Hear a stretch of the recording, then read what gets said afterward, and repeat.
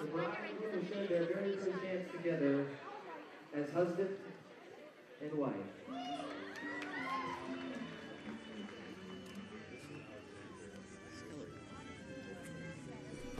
I can remember being at my brother's wedding, um, about mid ceremony. I was outside the reception hall with the groom and some of his friends. Um, one of them in particular was our father. Uh, I watched my brother and father share a drink, a laugh. Um, but it was the first time in 26 years that I witnessed firsthand who this man was that I had labeled as dad. Uh, outside of the Christmas cards and long distance phone calls. Uh, the last thing I wanted to think about was that my dad was dying.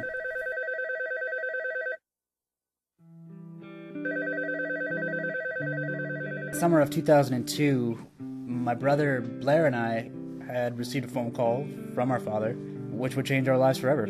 A phone call that would bring father and son closer than we had ever been. I've been diagnosed with colon cancer. And that was it. That one word takes away your strength. And I didn't want to believe it. I just didn't. What do you say when your father, of all people, tells you that he's dying? Superheroes never die, and neither does my dad. It's something that you never think is going to happen to you and your family. You can't really begin to imagine the impact that it has on you. There's nothing to prepare you for it, it, it just happens.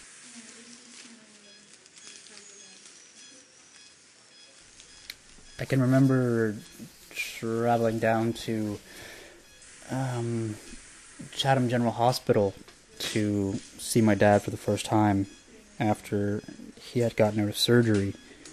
I had never seen my dad in a hospital before this, and it was a real shock to see these tubes and machines all around him.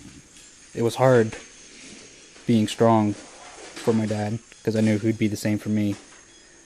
I sat down next to him and I took one of his hands. He looked over at me and couldn't really say much. He was on some heavy drugs, so but yeah, I took his hand and I said, "I love you, Dad."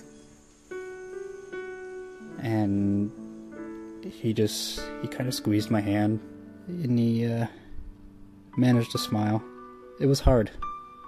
It was really hard seeing seeing someone so close to you, um, and you feel so helpless. There's nothing you can do.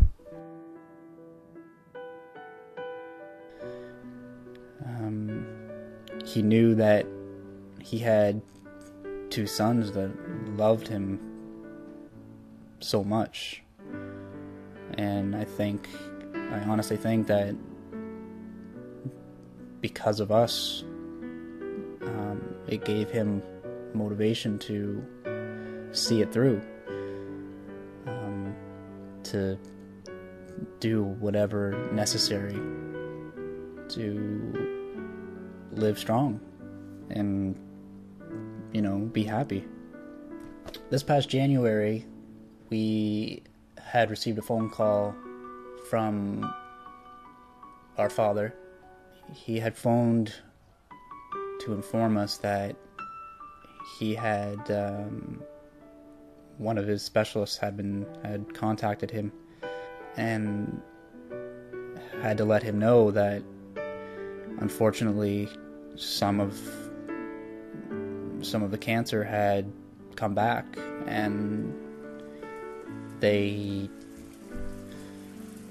at the time they were certain that they had removed all signs of cancer from his body but I guess they overlooked something and it was back and it was too too large uh, of an amount to remove.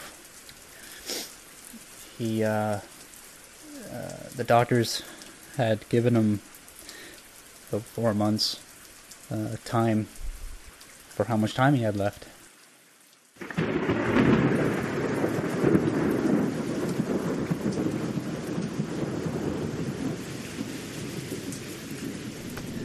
My brother and I will be receiving a phone call um, anytime now uh, from the doctors informing us that our dad is um, has a few hours left, and at that time we will be we will be driving down to see our father, and we uh, I guess we'll be saying goodbye. It's not something I'm looking forward to. But I know it's what my dad would want. I know he wants to see us. It's gonna be hard. It's gonna be really hard.